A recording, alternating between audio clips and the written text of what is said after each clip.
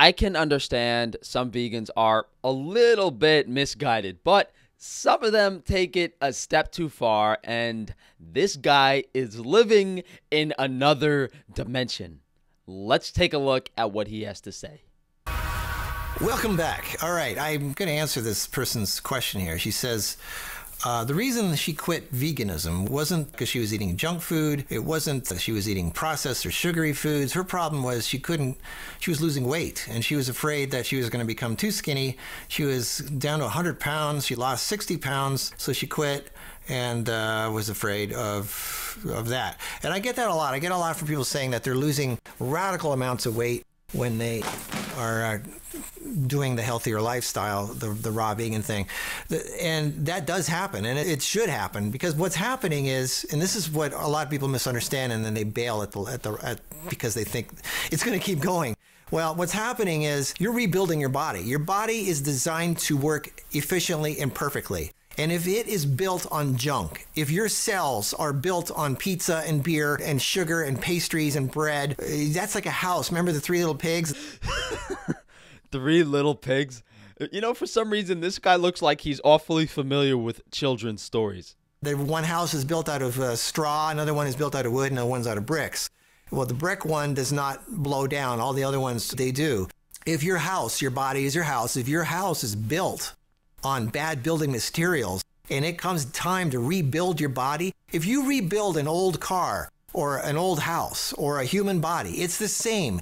You have to strip it down to the skeleton, the bare bones. That's what you have to do until there's no more bad, rotting, moldy building materials left. Then you have to scrape and sandblast down the skeleton, the frame, and then you rebuild. This guy sounds like a master builder. I have no clue why he's giving nutrition advice. What is the reason he went so far into that analogy? I think it's because he can't explain a vegan diet from an actual nutrition perspective. Only good building materials. That's how it's done right. And the body naturally does this. So if you're sending a message to your body that it's rebuilding time and you don't give it crap, you're, you're, like in cleansing mode, your body goes, okay, I get it. All right, time to rebuild. Well, what it's going to do is what you would do if you were rebuilding an old car or a house or whatever. It's going to strip down to the skeleton. He's back to That's the analogy. What your body is doing. It's getting rid of all the crap, and it wants to rebuild, and it wants to rebuild with proper building materials, and trust you that you're going to give it that. So it will go down a lot you, you will get skinny. And some people lose hair because hair is unimportant to the body. It's, it's, it's dead matter. It doesn't care about that. The body cares about life and it cares about working properly, working efficiently, working correctly. And it will do everything it can to work correctly and properly given the right materials. So, people see themselves losing a lot of weight. So yeah, it is a great way to lose weight. It is a great way to lose a lot of health problems too. That's why people do it because they want to heal. Um, so yeah, you'll lose a lot of weight. That is, you'll lose a lot. You'll look terrible. This is house cleaning time. Spring cleaning. When you do house cleaning, your place is a mess, right? All your cupboards are open and all the one. garbage is out in your house. You don't want people coming over to your house when you're doing spring cleaning or house cleaning. That's like when your body is going through this. You don't want people to see you. You got to, I mean, I'm sorry, guys. You cannot like lose all the bad crap that you're made out of and build good crap on top of it at the same time. You cannot build muscle at the same time that you're trying to get the, the bad foundation and the bad drywall out of the out of the system. You you need you got to do one step at a time. I'm sorry, you got to go through the ugly phase before you get to the good phase. You, while you're taking stuff out, you can't be putting stuff on. It just doesn't work that way. So, yeah, you're going to go through, it could be a couple months, it could be three months, who knows? Everybody's different. It's a phase where you just got to go into seclusion and stuff comes off of you. You look terrible. All your friends are say, You look terrible. You look like you're going to die. You're like, put some, eat a hamburger, right? I mean, that's just, that's just what happens. You're going to strip down. You're going to be really skinny. Um, and then once you feel your body is clean and you're working right, and I, everybody that does the fasting and the cleansing, they all say the same thing. I felt great. I felt like all this energy. I was clean. I was clear headed. I was just skinny. And people were scared of me. They thought I was going to die. I looked like I was from Auschwitz or something. So yeah, just just avoid people during this time. Just just stay away from it. The reason he's suggesting you avoid people is so you can stay stuck in your fairy tale world reading story books. If it takes so long to heal on a vegan diet, why does every single person that goes keto, carnivore, drastically improve their body composition over weeks and months? It's almost instantaneous. And then, this is critical. Then you start packing it on. Then you start building with good materials. Do not go to, uh, you don't go and get cheap building materials when you want to rebuild you know, a, a, car, a house, or a human body. You want to have the best building materials possible because you want to you want this thing to, to be something to be proud of. So now it's important. Now you got to do the good building materials, and that is the healthy food, and so your body functions right. So let let me get this straight: following a vegan diet and consuming grains, fruits, and vegetables are good building materials. I mean, you you just said you shouldn't consume cheap things and those foods are far cheaper than meat is. You know what was funny? I launched my meat company, Frankie's Free Range Meat, and Vegan Gains said, "Oh, why should I buy ribeye from Frank when I could buy lentils for a dollar a pound?" It's like it's like comical stuff. It, it's really like, uh, did he just say that? Muscles, and this is what people want. They want size. They want to look like a fitness model, right? Well, I'm sorry, guys. These vegans don't want to be muscular. They don't want size. They just don't want to lose every single ounce of muscle like every single other vegan because of B12 deficiency. And why do these people that go from vegan to omnivore or even carnivore gain muscle so quickly? It's not required to work out. It's simply a lack of nutrients that humans are meant to consume from animal foods. If you want to look chiseled and, and, and really nice and, and fit, that's muscle. And in order to get muscle, you have to work out. You got to work your muscles. You got to send a message to your body that muscles need to be built. Because if you don't, if you don't send a message to your body that you need muscle, it's not going to build muscle.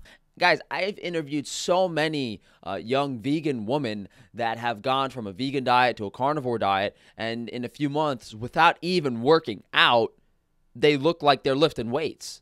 Your body is only going to do what it needs to do. It's very efficient, it's very smart, it's a perfect computer system. It will only do what it needs to do to function. You're absolutely right. When you go on a vegan diet, the body is trying to survive. It's literally breaking down muscle tissue because you are lacking so much nutrition. So, if you want to put size on, you're either it's either going to be fat or muscle or water weight, which is that's just fluffy temporary stuff. And muscle is important because you need to have some muscle.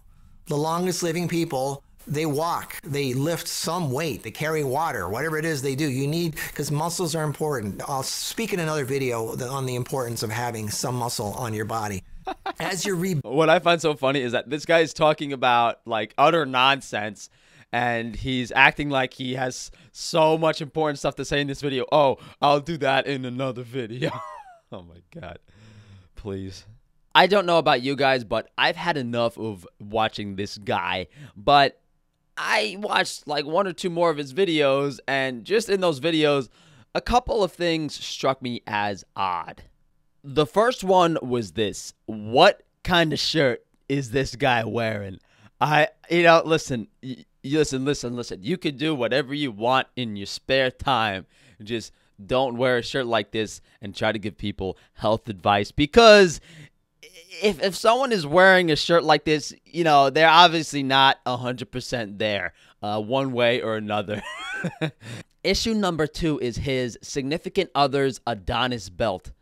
Guys, I, I follow the Olympia because I used to lift weights a lot, and I've never seen a female competitor with an Adonis belt like this. This is what got me curious. Now, when we take a look at the competitors from the 2018 Olympia, and, some of these women are very low body fat, have been training for very long periods of time, none of them seem to have an Adonis belt.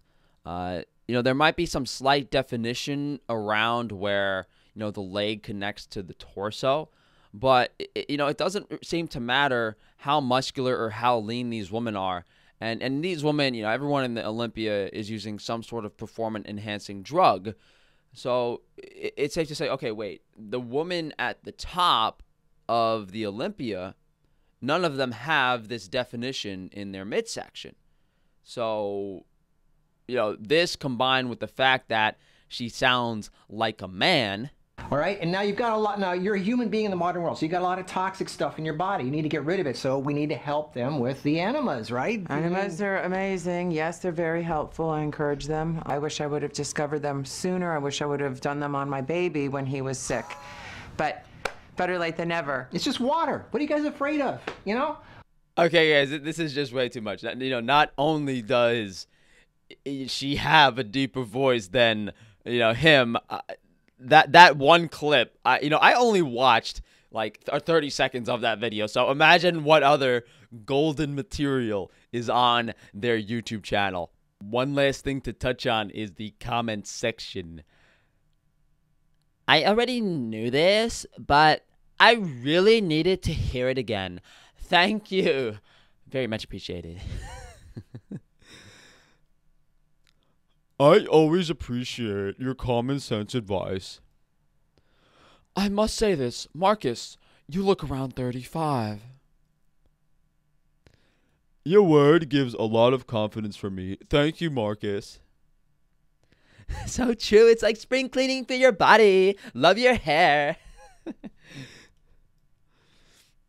well put, my friend. Guys, I, I, can't make this up. This is so this is so absolutely crazy. Uh, like honestly, if I had a time machine, if if I could go back and start my YouTube channel all over again, I would have been a vegan because right now I'd have about four million subscribers driving a Ferrari. So what are you gonna do? You know, hindsight is always 2020. So whatever you ladies and gentlemen decide to do, try not to take health advice from anyone with impaired judgment, aka every single vegan there is. Thank you guys for watching. Please like, subscribe, hit that bell icon right next to the subscribe button. Share the video if you can. If you guys do want to support me, uh, you can check out some of the videos at the end here that I will link related to this. I also recently started a meat company, Frankie's Free Range Meat. We're looking to provide nutrient dense foods to everyone. We're going to be doing some really interesting things and providing products that no one else has on the market, oriented around increasing quality animal food consumption in the diet. So you can check that out down below. Guys, all my stuff is in the comments, my Patreon, my Amazon shop. My contact information if you do want to reach out for me for a one on one consultation in regards to improving your overall health. Outside of that, you guys enjoy the rest of the weekend.